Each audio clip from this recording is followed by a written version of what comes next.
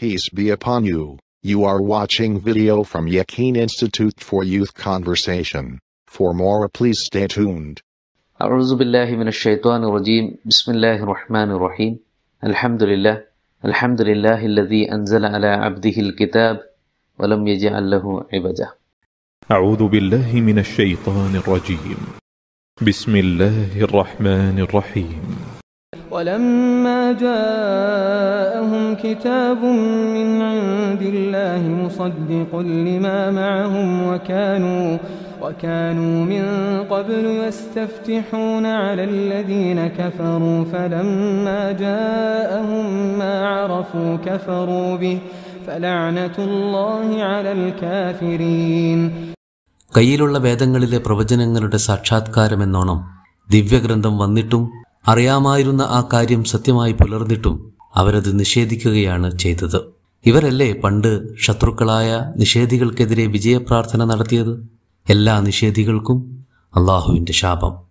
بئس ما اشتروا به أنفسهم أن يكفروا بما أنزل الله بغيا أن ينزل الله من فضله على من يشاء من عباده فباءوا بغضب على غضب وللكافرين عذاب مهين അള്ളാഹു തന്റെ ഇഷ്ടദാസന് അനുഗ്രഹം ചൊരിഞ്ഞതിലുള്ള വിദ്വേഷത്താൽ ആ അനുഗ്രഹത്തെ നിഷേധിക്കുന്നത് എത്ര നീചമായ ആത്മവഞ്ചനയാണ് മേൽക്കുമേൽ ദൈവകോപത്തിനിരയായി അവർ നിഷേധികൾക്ക് നിന്ദ്യമായ ശിക്ഷയുണ്ട് ആറാം നൂറ്റാണ്ടിന്റെ തുടക്കത്തിൽ മക്കയിൽ ദിവ്യ വെളിപാടുകളുടെ വെളിച്ചത്തിൽ ഏകദൈവ പ്രഘോഷണം നടത്തിയ അന്ത്യപ്രവാചകൻ മുഹമ്മദ് നബി സുലല്ലാഹു അലൈഹി വസല്ലമ്മയുടെ ആഗമനവും ദൗത്യ ദൗത്യനിർവഹണവുമെല്ലാം കേവലം ആകസ്മികമോ അവിചാരിതമോ ആയിരുന്നില്ല.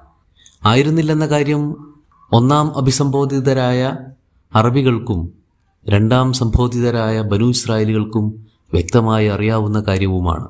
അറബികൾക്ക് ഇക്കാര്യത്തിൽ കൂടുതൽ വ്യക്തത വേണം എന്ന ആഗ്രഹമുണ്ടെങ്കിൽ മക്കയിലും മദീനയിലുമായി കഴിഞ്ഞുകൂടുന്ന ജൂത ക്രൈസ്തവ പുരോഹിതന്മാരുമായി സംസാരിച്ചാൽ മതിയല്ലോ എന്ന് അള്ളാഹു ചോദിക്കുന്നുണ്ട്. ഒരുപാട് കാലമായി ബനു ഇസ്രായേലിയർ വിശേഷിച്ച് ജൂതർ അവസാനമായി രംഗപ്രവേശനം ചെയ്യാൻ പോകുന്ന ദൈവിക പ്രവാചകനെക്കുറിച്ച് ഊറ്റം കൊണ്ടുകൊണ്ടേയിരിക്കുന്നു ഭീഷണിപ്പെടുത്തിക്കൊണ്ടേയിരിക്കുന്നു. ഇന്നഹു സയുബ്രഹസു നബിയുൻ ഫി ആഖിരി സമാൻ നഖ്തുലുക്കുമാഹ് കുറച്ചു കഴിഞ്ഞാൽ അവസാന ഘട്ടത്തിൽ ഞങ്ങൾക്കൊരു പ്രവാചകൻ വരാനുണ്ട്. അങ്ങോരുടെ കൂടെ നിങ്ങളെ ഞങ്ങൾ വകവരുത്തും എന്നവർ പറഞ്ഞുകൊണ്ടേയിരുന്നു. അറബികളുമായി സംഘർഷമുണ്ടാകുമ്പോഴും അല്ലാത്തപ്പോഴുമൊക്കെ ആഗതമായ ആ പ്രവാചക നിയോഗത്തിന്റെ പേരിൽ ഊറ്റം കൊണ്ട് അമിതാത്മവിശ്വാസം പ്രകടിപ്പിച്ച് ജീവിക്കുകയായിരുന്നു ജൂതവിഭാഗം. സ്വാഭാവികമായും അവരിൽ നിന്ന് പ്രവാചക നിയോഗവുമായി ബന്ധപ്പെട്ട വിവരങ്ങൾ അറബികൾക്ക് കിട്ടിയിട്ടുണ്ടായിരുന്നു. ലക്ഷണങ്ങളും അടയാളങ്ങളും പോരെന്നുണ്ടെങ്കിൽ അവരിലെ പണ്ഡിതന്മാരോട് ചോദിച്ചറിയുവാൻ അള്ളാഹു അറബികളോട് ആവശ്യപ്പെടുന്നുമുണ്ട്? സൂറത്തു ഷുറാ നൂറ്റി തൊണ്ണൂറ്റിയേഴാമത്തെ ആയത്ത്. അവലം യക്കുല്ലഹും ആയ അയ്യാലമഹു ഉലമാ ഉബനി ഇസ്രായേൽ അഥവാ ബനി ഇസ്രായേലിയരിലെ പണ്ഡിതന്മാരുടെ കയ്യിൽ വ്യക്തമായ തെളിവുകൾ ഉണ്ടായിരുന്നെന്ന് സാരം. ഇക്കാര്യം കൊണ്ടുകൂടിയാണ് ജൂതന്മാർ പറഞ്ഞുകൊണ്ടിരിക്കുന്ന തെളിവുകളും അടയാളങ്ങളുമെല്ലാം പുലർന്നു കണ്ട മുഹമ്മദ് നബിയിൽ വിശ്വസിക്കാൻ മദീനക്കാരായ അറബികൾക്ക് അനിതര സാധാരണമായ താല്പര്യമുണ്ടായത് ഇനി ഇക്കാര്യത്തിൽ ബനു ഇസ്രായേലിയരുടെ ബോധ്യത്തിന്റെ അടിസ്ഥാനം എന്താണെന്ന് പരിശോധിക്കാം നമുക്ക്. അതവരുടെ വേദഗ്രന്ഥം തന്നെയായിരുന്നു. പഴയ പുതിയ നിയമങ്ങൾ അഥവാ തോറയും ഇഞ്ചിയിലും ഗോസ്പലും മറ്റനേകം പ്രവാചക പ്രവാചകാധ്യാപനങ്ങളുമെല്ലാം പ്രസ്തുത അന്ത്യപ്രവാചകനെക്കുറിച്ചുള്ള സുവിശേഷങ്ങൾ പങ്കുവച്ചിട്ടുണ്ട്. ഇസ്രായേലേതര വേദപുരാണ ഗ്രന്ഥങ്ങളിൽ പോലും ഇത്തരം പ്രവചനങ്ങൾ നമുക്ക് കാണാവുന്നതാണ്.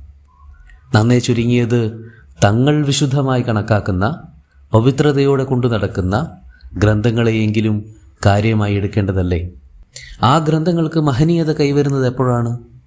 അവയിലെ പ്രവചനങ്ങൾ പുലരുമ്പോൾ. അതുപ്രകാരം അന്ത്യപ്രവാചകനായ മുഹമ്മദ് നബി സുല്ലാഹു അലൈഹി വസല്ലമയുടെ ആഗമനം പ്രസ്തുത മുൻവേദങ്ങളുടെ തന്നെ ആവശ്യകതയും അനിവാര്യതയുമാണ്. ആ പ്രവചനങ്ങളുടെ സാക്ഷാത്കാരം എന്ന നിലക്കാണ് മുഹമ്മദ് നബി സുല്ലാഹു അലൈഹി വസ്ലമയുടെ വരവിനെ നാം കാണേണ്ടത്.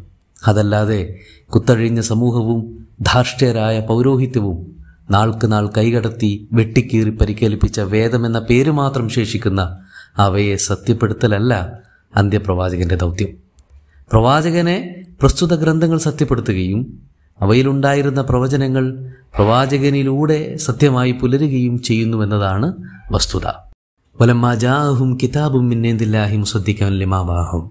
അപ്രകാരം വെളിപാടുകളുമായി അന്ത്യവേദവും പ്രവാചകനും ആഗതമായപ്പോൾ അവർ അഥവാ ഇസ്രയേലിയർ പ്രവാചകനെ അംഗീകരിച്ചോ സ്വീകരിച്ചോ ചൂണ്ടിക്കാണിച്ച് സാക്ഷ്യപ്പെടുത്തിയോ? ഇല്ലേ ഇല്ല. ഇല്ലെന്നു മാത്രമല്ല അറബികളെ ഉൾപ്പെടെ മുഹമ്മദ് നബിയെ നിഷേധിക്കാനും നിരാകരിക്കാനും പരിശീലനം നൽകുക കൂടിയാണ് അവർ ചെയ്തത്. വക്കാനു മിങ്കബലു യസ്തഫ്തിഹൂന അലല്ലദീന കഫറു. അവരാകട്ടെ പലപ്പോഴും തങ്ങളുടെ ശത്രുപക്ഷത്തുള്ളവരെ ഒതുക്കാനും കീഴ്പ്പെടുത്താനുമായി അന്ത്യപ്രവാചകനെ വേഗത്തിലൊന്ന് അയച്ചു കിട്ടാൻ കൂട്ടപ്രാർത്ഥനകൾ നടത്തിയിരുന്നവരായിരുന്നു. നഷ്ടപ്രതാപത്തിന്റെ വീണ്ടെടുപ്പിനും ലോകാധികാര ശ്രേണിയിലേക്ക് ഉയരാനും അതവർക്ക് അനിവാര്യവുമായിരുന്നു. അറഫു നേർച്ചയും വഴിപാടുകളുമായി കണ്ണുമിഴിച്ച് കാത്തിരുന്ന വിമോചകൻ അവർക്ക് മുമ്പിൽ പ്രത്യക്ഷപ്പെട്ടപ്പോൾ ഏറ്റവും ആദ്യം ഓടിയടുത്ത് സ്വീകരിക്കുന്നതിനു പകരം അദ്ദേഹത്തിന്റെ ആദ്യ എതിരാളികളായി മാറുകയെന്നതായിരുന്നു അവരെടുത്ത ചരിത്ര നിയോഗം ഫലാനഹുല്ലാഹി അലൽ കാഫിരീൻ.